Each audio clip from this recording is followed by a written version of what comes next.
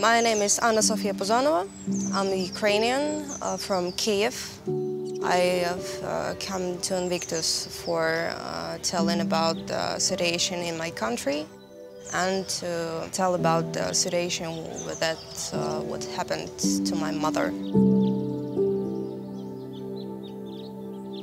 I want to show the world uh, the truth about the situation in Ukraine, about the war in Ukraine.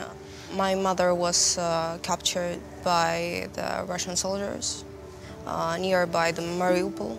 My mother is a volunteer paramedic. She saved more than 500 people already on the front line.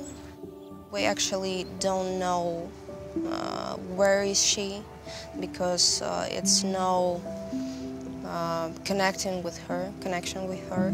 So I can go back to the to my home.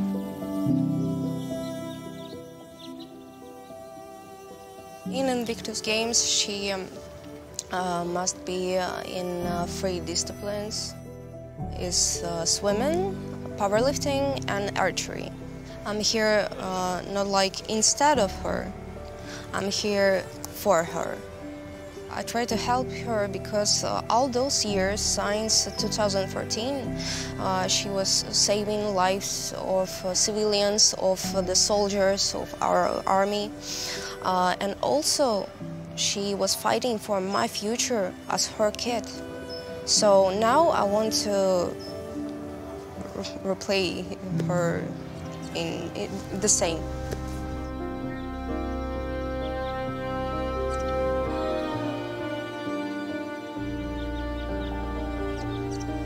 It's emotional to be here, but um, you know, uh, after two months of war, you're already not so emotional as you were. People of the Invictus teams uh, from uh, different countries are uh, spoke to us. They're asking uh, if we are fine, uh, if it's okay. Uh, they really care about the situation, and I think that it's important too.